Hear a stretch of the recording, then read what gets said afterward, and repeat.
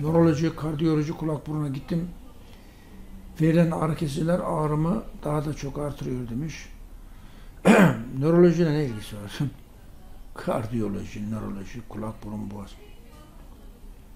Şimdi 40 sene önce kulağım ağrıyor. Doktora gittim. Benim küçük çocukta da kulağı ağrıyor. Onun çocuk doktoruna ben çocuk doktoruna. Onun çocuk doktoru ben çocuk doktoruna. İçi kulak problemi varsa. Dedi ki doktorun biri eksema var. Ne yapacaksın? Şunu kullan. Dört ay kullandım yine ağrıyor. Başka doktora gittim. Eksema. Ne yapacağım? Şunu kullan. Başka doktora gittim. Dört ay sonra mantar. Ne kullanacaksın? Şunu. Başka doktora gittim. Dedi ki sinirler büzülmüş. Ne olacak? Atkıyla gezeceğim. Altı ay atkıyla gezdim. Yine çağırıyor. Başka doktora gittim. Dedi ki kulaklarını çok temizlemekten hassaslaşmış. Ne olacak? Kulağını temizleme. Kirli gez.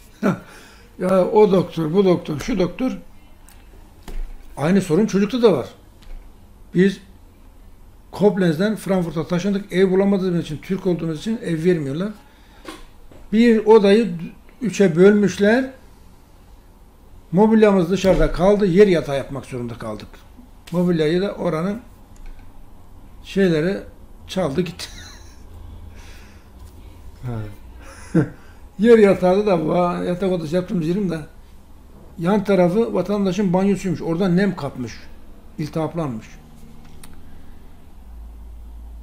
Yedinci çocuk doktoru yaşlı bir kadın bir de buna gidek bakayım dedik. Yaşlı kadın 70 yaşında hala doktorluk yapıyor. Dedi ki şimdiki gençler bunu anlamaz. Niye? Buradan bakıyorlar bir şey göremiyorlar. Halbuki orada kemik var. Kemiğin altında iltihaplanma oluyor. Hava sertleşince, soğuyunca sertleşiyor. İltihap kemik gibi sinirleri sıkıştırıyor, ağrı yapıyor. Sıcak olunca yumuşuyor. Bunun için dedi şuraya, kulağın arkasına şuraya şu şu bitki yağlarını sürün geçer. Ben onunla ilgili özel bir çalışma yaptım. Ozon yağı ürettim. Bitti gitti. Kulak burun boğaz doktoru.